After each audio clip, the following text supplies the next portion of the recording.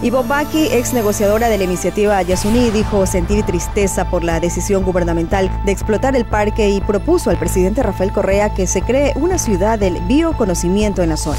El soldado Bradley Manning, condenado a 35 años de cárcel por filtrar documentos clasificados de Estados Unidos, se considera una mujer y quiere vivir como tal, llamándose Chelsea. Para ello busca comenzar una terapia hormonal. El delantero Carlos Tenorio marcó dos goles en la victoria del Vasco da Gama de Brasil y dijo estar a disposición del técnico Reinaldo Rueda para integrar la selección de Ecuador en los próximos partidos de las eliminatorias del Mundial 2014.